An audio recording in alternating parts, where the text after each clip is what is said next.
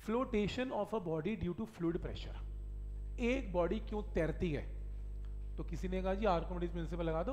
Density कम होती है पानी से तो तैरेगी, बढ़ जाएगी तो डूब जाएगी। ये आपने शॉर्टकट याद किए हुए हैं। आर्कोमिडीज ने पहले दिन थोड़ा डेंसिटी पे काम कर लिया, पहले दिन अपसस निकाल लिया उसने।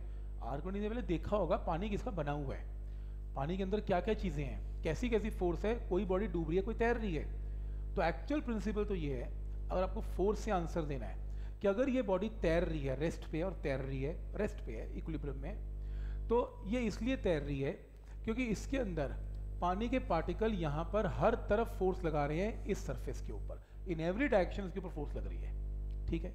तो इन फोर्सेस ये जो फोर्स है, इसके दो कंपोनेंट होंगे, एक हॉरिजॉन्टल और एक वर्टिकल ये देखो, ये फोर्स है वर्टिकल और हॉरिजॉन्टल तो ये जो बॉडी तैरती है ना ये ऐसे मूव तो नहीं करती, तैरती तैरती, नहीं मूव करती। तो हॉरिजॉन्टल फोर्सेस क्या हो जाती हैं? रिजल्टेंट कैंसल सारी हॉरिजॉन्टल फोर्सेस लेफ़्ट और राइट की कैंसल हो जाती हैं।